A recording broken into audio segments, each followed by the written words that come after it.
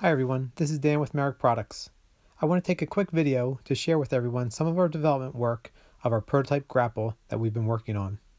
This is part one of a two-part video. In part one, we want to see how everything fits together and how it functions, but without any load at this point. Everything will just be tack welded together.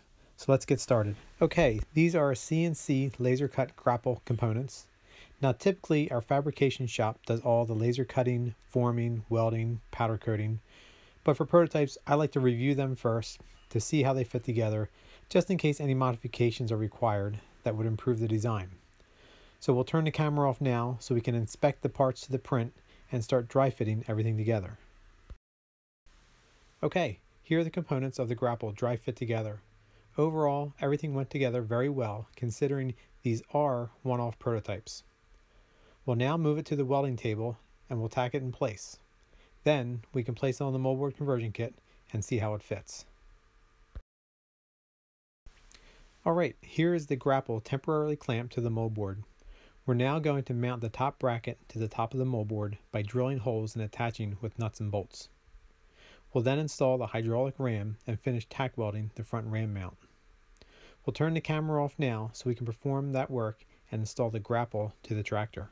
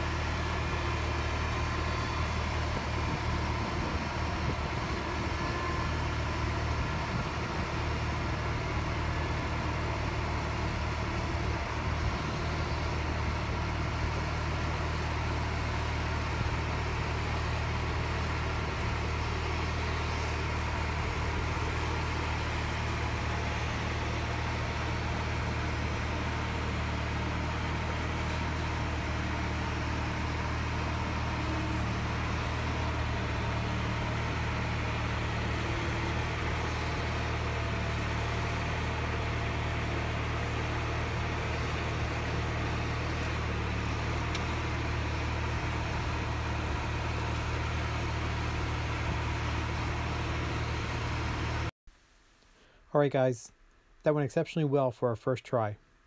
We purposely selected some soft leaves to test the grapple since it's only tack welded together at this point. So we'll finish welding it and put it to a more rigorous test.